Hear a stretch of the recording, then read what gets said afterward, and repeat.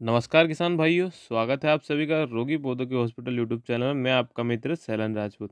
किसान भाइयों, आज के इस वीडियो में हम चर्चा करेंगे यूपीएल कंपनी के वेस्टा खरपतवार नाशक दवाई के बारे में जानकारी देंगे।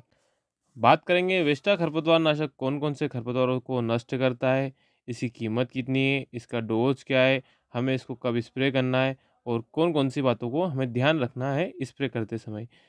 जिससे हमें बहुत अच्छा रिज़ल्ट मिले। इन सभी बातों की जानकारी आपको इस वीडियो में मिलने वाली है तो प्लीज़ आप सभी से निवेदन है, बिना स्किप किए वीडियो को देखते रहिए अंत तक। और जो किसान मित्र यूट्यूब चैनल पर नए हैं, प्लीज़ चैनल को सब्सक्राइब करना ना भूलें और पास में लगी बेल आइकन को भी दबा दीजिए, ताकि खेती संबंधित सभी प्रकार के नए वीडियो का नोटिफिकेशन जल्दी से जल्द मिलता रहे। इसमें दो टेक्निकलों का कॉम्बिनेशन होता है। पहला, इसमें प्रोपोपाइजल पंद्रह परसेंट, प्लस दूसरा जो है, वह मेट सल्फ्रॉन मिथाइल एक परसेंट डब्ल्यू पी फॉर्म में उपलब्ध होता है। यूपीएल का वेस्टा एक बोर्ड स्पेक्ट्रम हर्बिसाइड है, जो एक साथ कई प्रकार के खरपतवारों को नियंत्रण करता है। यह चौड़ी एवं सकड़ी दोनों प्रकार के खरपतवारों को नियंत्रण करता है।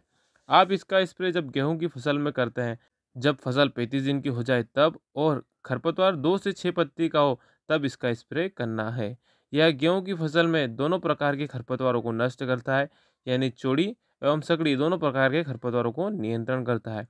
इसका स्प्रे करते ही 48 घंटे के भीतर खरपतवार की ग्रोथ व बढ़वार रुक जाती है और 8 से 12 दिन के भीतर यह खरपतवार को पूर्ण रूप से खत्म कर देता है। इसका स्प्रे करते समय हमें कुछ बातों का ध्यान रखना है। खेत में नमी अच्छी होनी चाहिए, तभी स्प्रे करें। एक बार वेस्टा का स्प्रे करने के बाद दोबारा वेस्टा का स्प्रे एक ही खेत में ना करें।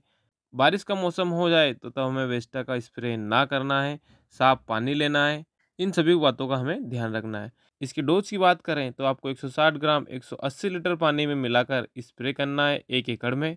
इसकी कीमत की बात की जाए तो आपको 160 ग्राम का वेस्टा का पैक 550 से 580 रुपए में मार्केट में मिल जाएगा।